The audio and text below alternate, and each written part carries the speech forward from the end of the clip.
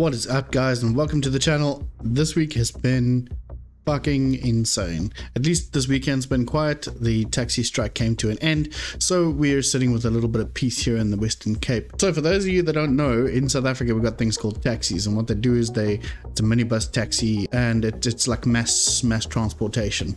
I would say the taxi industry transports probably about 90% of the workforce to work every single day in South Africa, so they're quite important, but they've got government by the balls. And like we've seen this week here in South Africa, there's been massive protesting by the taxi industry, specifically here in the Western Cape and Cape Town. They have destroyed property, shot at police, set fire to property, caused roadblocks. It's been fucking crazy. Five people killed in similar incidences this week uh, that passed. Basically, what happened is they were diverted or took a road that went through a pretty dangerous area or volatile area involving these taxis and what ended up happening was they ended up getting attacked. And you'll see that in this video. This is one such incident that was recorded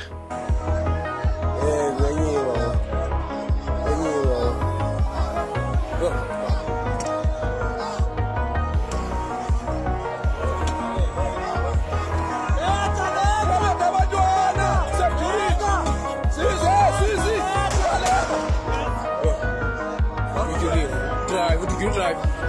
Driver did you drive? Le punte mia. Ah, viaga, viaga. Mia, ga problema mgenyi.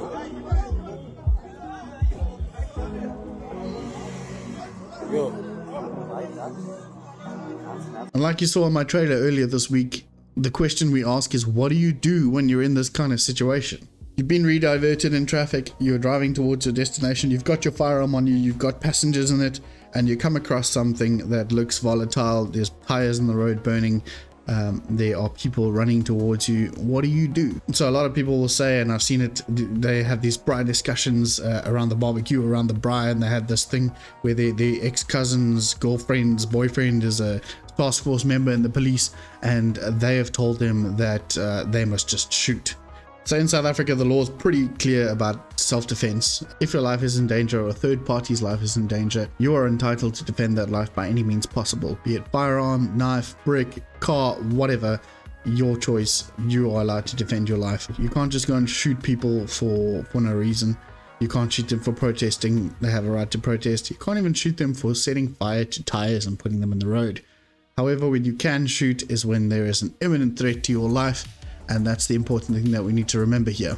Standard advice, best advice you could probably ever take is if you see that thing happening in front of you, two, 300 meters, whatever, put your car in reverse, get out of that situation and go back to a safer area. It's going to be it's going to be much better that way. If however you are caught in a situation where you can't and your car is disabled, for example, you've driven down a certain section and rocks have been thrown at your car, you swerved off, you've damaged the axle on your car and your car can't drive anymore, well then it's go time. You better hope to god that your training comes into place. You've got enough ammunition and that you can get the fuck out of there. Um, there has been an incident. I know of one person that was ambushed almost three times. They discharged their firearms all three times and it saved them and managed to help them to get out of the situation they were in. Sometimes it's not viable to turn around and go back the way you were coming from. Sometimes you just can't get that way quick enough. So my advice to you would be if you can get out of there get out of there. If you can't get out there you better hope to God that you've been training well enough that you can shoot from a seated position. A vehicle is a bullet magnet.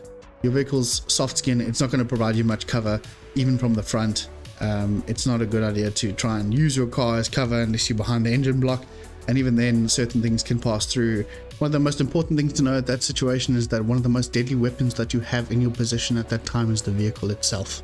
So for the guys who, who do have firearms, best thing to do is go on to a course that you do vehicle combatives. There, there are a lot of guys doing it around the country. Make sure you've got someone who knows what they're talking about, who knows what they're doing as well.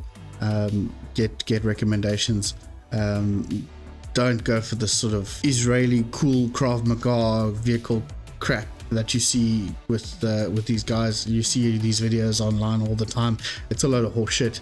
Um, go to someone who knows what they're doing who's had military training or who's been extensively trained as a firearms instructor. Vital, especially in, in South Africa, with hijackings being so high, uh, it's definitely worthwhile doing. There's another line of thought that we need to take into consideration here as well is why the hell should we be held hostage? If I need to get from point A to point B, why am I going to be hampered by people who think they can do whatever the fuck they want? This episode is currently sponsored just by me because I haven't got any sponsors and the channel's growing. So uh, if you like this episode and you like what I have to say, hit that like and subscribe button at the bottom and stay tuned. We'll get you some more good content. Some of you guys are pretty fucking awesome. I appreciate the comments and stuff that we're getting at the bottom. Um, some really, really insightful stuff. Not much hate, which is quite cool for a change. And as always, thanks for tuning in. Subscribe.